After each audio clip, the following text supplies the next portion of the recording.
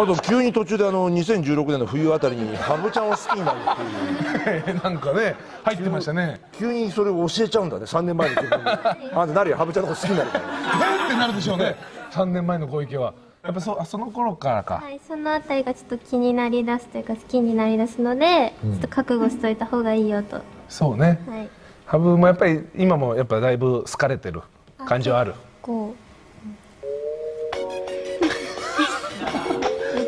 いやいなななイチャイチャしてるな何？何？もうチューはしたんだよ。進んでくの？